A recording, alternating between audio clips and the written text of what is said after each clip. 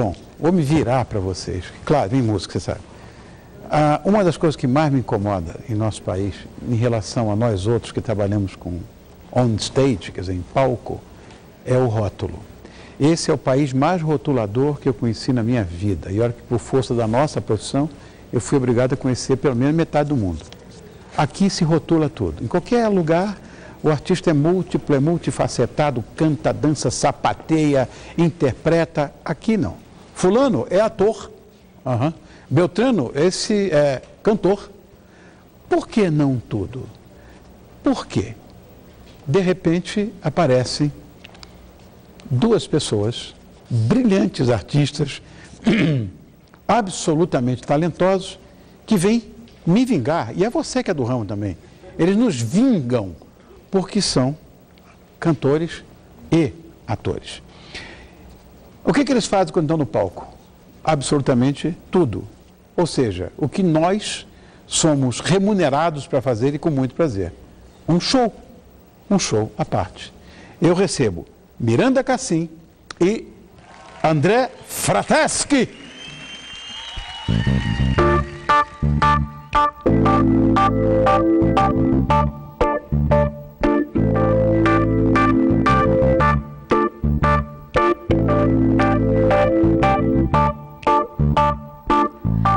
Ele é Black and Decker.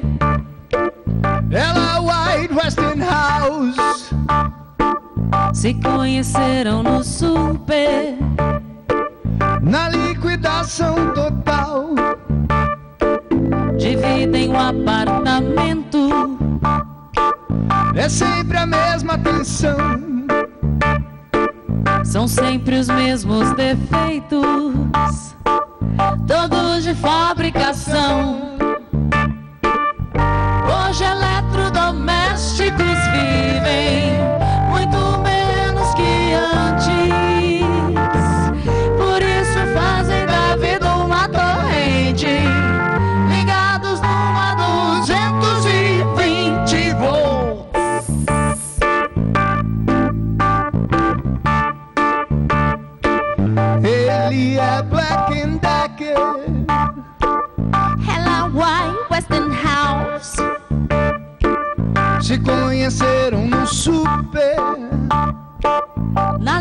liquidação total. Transam arte concreta. Futurismo e Bauhaus. Transam Electromusic.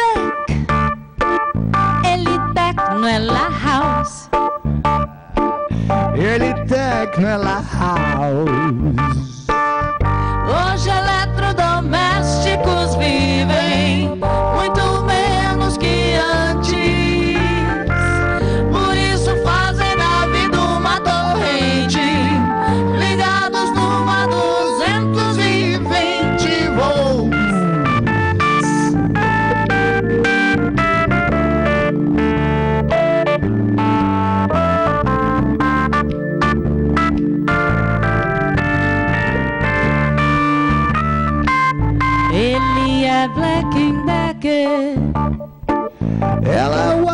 Westinghouse. Se conheceram no super. Na liquidação total. Dividem um apartamento. É sempre a mesma tensão. São sempre os mesmos defeitos.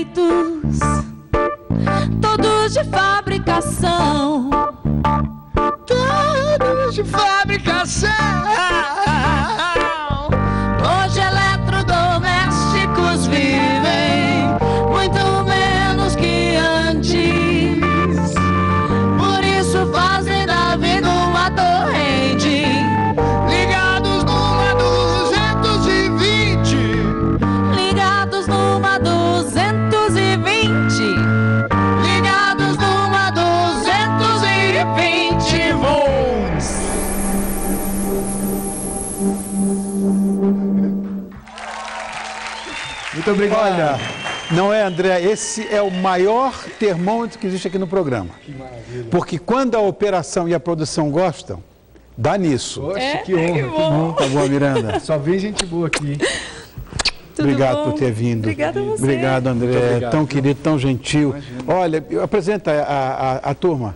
Teclado. Aqui está o grande Piero Damiani, o nosso coach. Boa, boa, Pedro. Baixo. No baixo, nosso parceiro de toda a vida, Renato Cortez. Boa, Renato. Mandou bem. Beleza. Dá mais um jazz bass. Isso é coisa da minha época, né? Não é verdade? Como é que surgiu a banda Heroes? Basta falar no No microfone. microfone. A gente, na verdade, o Hero surgiu da minha paixão pelo David Bowie.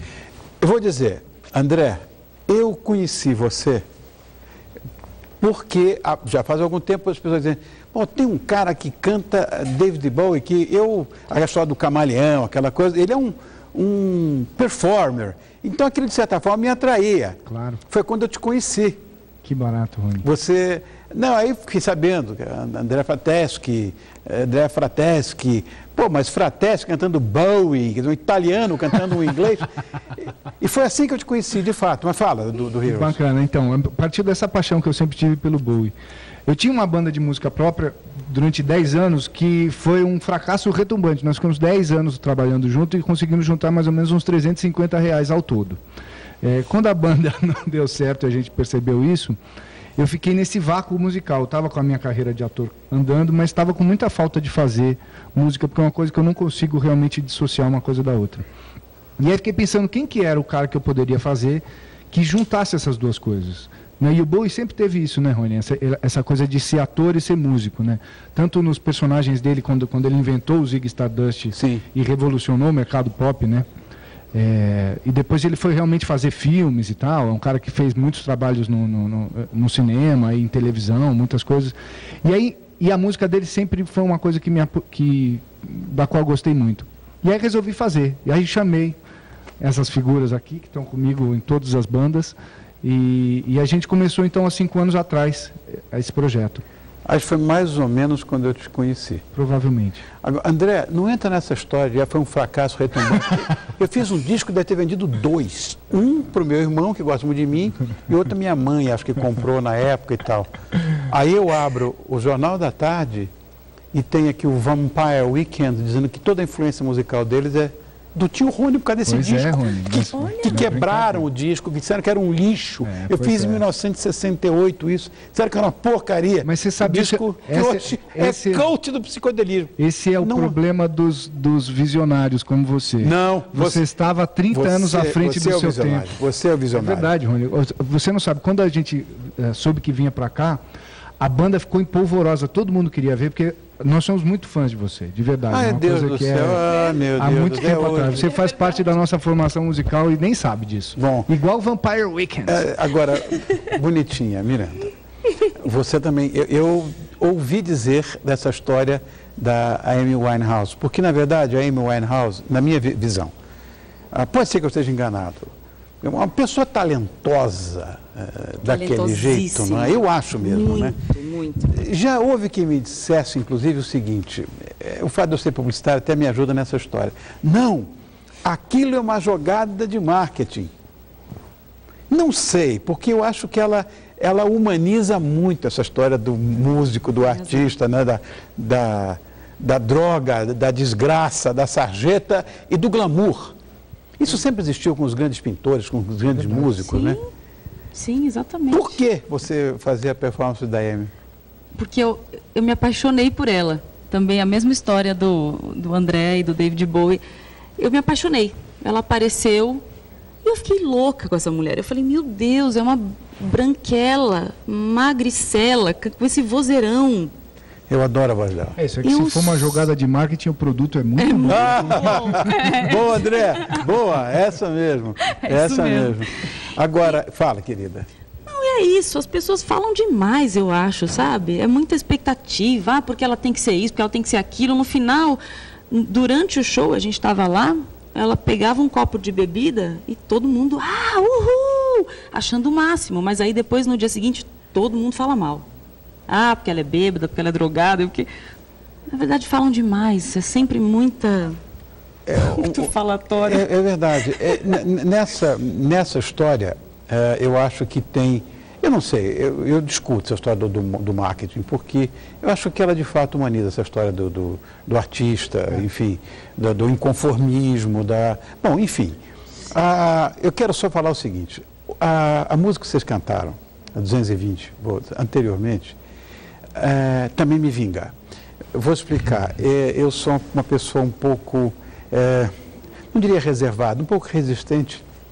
Acabei de falar com o Zé Armando, este, este brutal consumismo que a gente vive, mas fazer uma, uma sátira, ou melhor, uma crônica musical em cima disso, de produtos de consumo eletroeletrônicos, é no mínimo coisa de gênio. Eu adorei. Ah, que massa. massa. Eu adorei. Essa música é de um grande parceiro nosso, o Peri Pani, que é um poeta incrível, um menino também, tem lá, sei lá, tem 30 e poucos anos, e que tem trabalhos maravilhosos com uma banda dele chamada O Degrau. E ele nos cedeu essa música pra gente colocar no nosso disco. Maravilhosa, maravilhosa. Quem andou ensaiando para essa história há muito tempo atrás foi um querido amigo meu, Marcos Vale. Hum, maravilhoso. Ele ensaiou e tal, falava da época que existia um carro chamado Corcel, ele falava também, como eles falaram de, de Westinghouse, é, né? o Enfim. Bom, você com esse sapato, dá uma olhada no sapato, dá um, dá- Brincadeira. olha, não, olha, é- é- isso, é me usa esse sapato que eu vi. É, mas agora ela não dá mais conta de usar o sapato assim. Ela cai, né, Miranda? Ela Ela cai. tá muito magrelinha, pequenininha, não, não aguenta. Bom, estou adorando conversar com vocês, mas estão pedindo que vocês cantem mais. Então Eu acho lá. que isso é um É tudo ao vivo e rápido, porque entraram aqui no break comercial, já passaram o som, já ensaiaram, já deu tudo certo. Olha assim aqui, é o vivaço. É assim que é bom, vivo, né? É assim que é bom. Essa você vai gostar, a gente vai fazer Eta James. É a paixão, da- uma das paixões da minha vida. Minha também. Adoro Eta James. né? Acho que foi injustiçadíssima. É. Não é? Agora fizeram uma, uma campanha de, de cerveja, tem um tempo atrás, que, que, Pois pois é, que aquilo ali sim, né? você não tem ideia. Que, que aquilo foi lindo, usando, usando a bonitinha cantando. Né? Pois é, Bom, aí é que está. pois é. Teve até aquela Foi coisa... Stormy Weather. Tá falando, Foi, é. Don't know why the sun of the sky, Stormy Weather. Ela cantou do jeito mais lindo do mundo. Eta James pra Bom, mim é, é uma das minhas Tam- grandes também. paixões também. Eu...